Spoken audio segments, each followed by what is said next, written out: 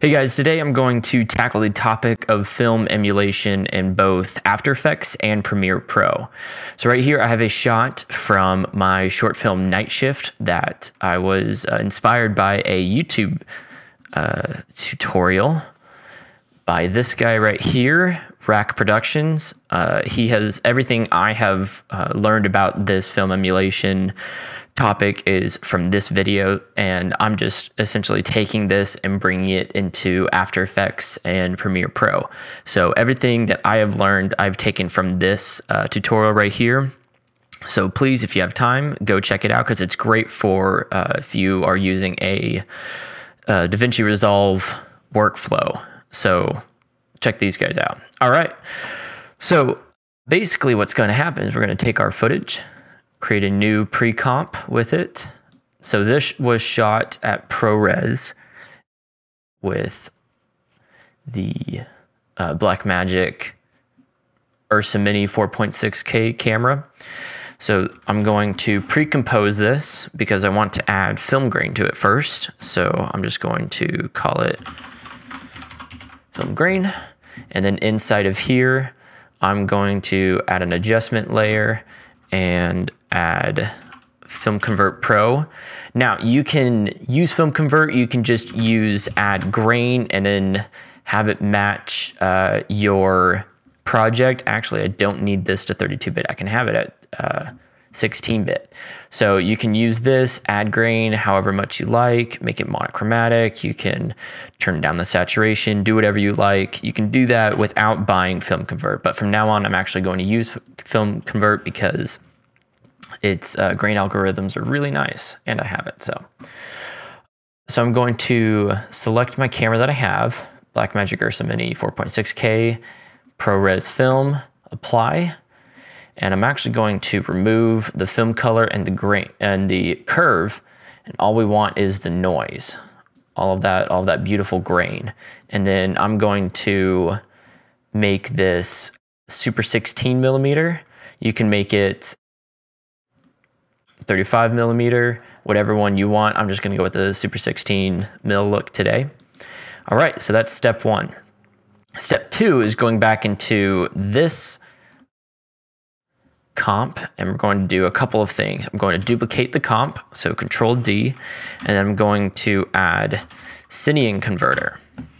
And we're going to go from uh, log to linear. Now, a couple things we need to adjust, which is the black point. Take that to zero. Take this to, uh, I'm sorry, 1,000, I believe. Yep. And then I'm going to add a curves adjustment take the highlights and crush them all the way down. I'm going to add a little notch right there and then increase this up so we can see the highlights. If you keep going, it'll blow it out, but we can just do, leave it about right there. So now we have a perfect view of the highlights of this uh, comp. So you can see it's singled out this area, boom. And so the next step we're going to do is add a channel blur so that we can go in and blur the red. And if you look in here, you can see it takes the red and it expands it out. And that will give you that beautiful film halation, which is exactly what you want. So once I do that, that might be a little too much. And then I'm going to set this to add. And now if you look in here in the highlights next to the uh, slate, you can see beautiful red film halation. Now you can go in here if you want to increase the uh, amount of red, you can crank this up. If you want to increase the spread, you can crank the blurriness up, but I'm going to keep it somewhere right there just to make it look Nice. Okay, and then the next thing I'm going to do is probably just add an adjustment layer, add the film convert plugin back on top. I'm gonna go back to my Blackmagic design, ProRes film, and in this one, I'm going to remove the grain. I'm gonna go in and dial in the film look that I want. I think that one looks really nice. And so now we went from this shot right here, very clean, very nice uh, digital acquisition to a gorgeous, almost uh, 16 mil lookalike.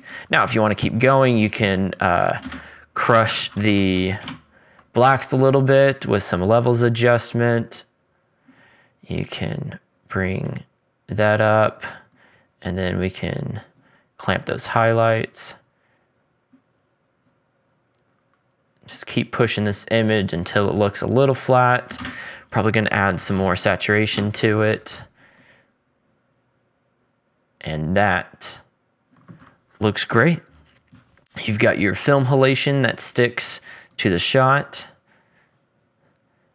and it goes throughout. Let's see, we might even want to increase this just a little bit.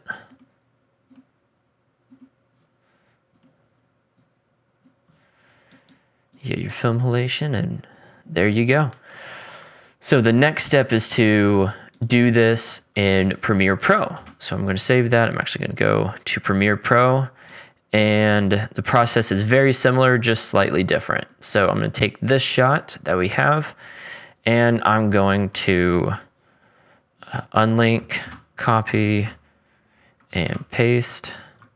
I'm just going to bring it right above, just like we did in After Effects. So I'm going to go here. Uh, we need Cineon converter. Let's go to our effects controls. Uh, I believe it was log to linear.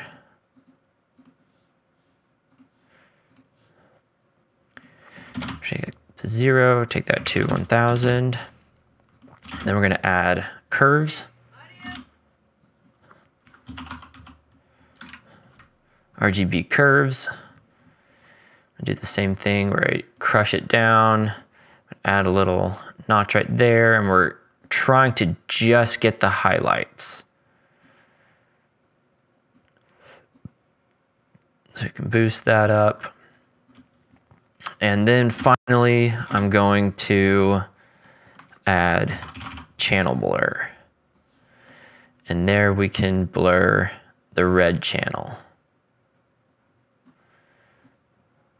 And then we're probably gonna want to repeat the edge pixels so that it doesn't uh, clip too much, or not clip, but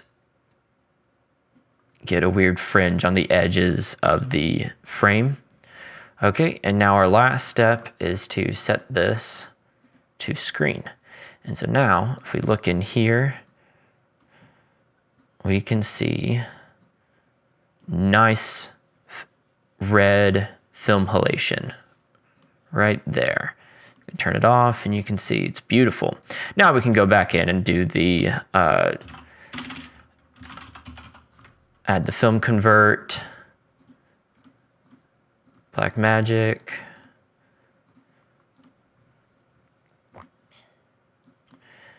Take away the curves, Super 16, and up here, yeah, we could do something like that if you want to still do that. And then you can go in and add your adjustment layer and create, uh, keep going with your adjustments. So levels, can crush that down. Um, output.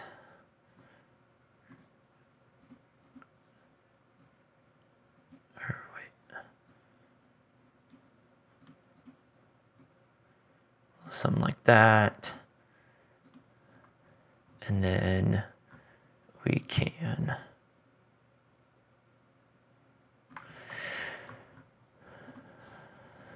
add in our saturation.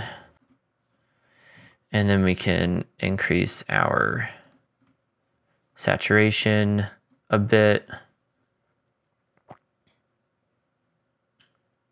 Uh, boom. I haven't used Premiere in a while. Yeah. And then there you go. So we still maintain great halation right there on the edges. We have great grain, crushing the levels to make it more accurate, and increase the saturation. All right, thank you so much for checking out uh, this video. Once again, if you want to see this process in DaVinci Resolve, which is where I learned how to do this, check out this channel, RAKK Productions Film Halation Tutorial V2. All right, thank you very much, and I'll see you guys next time.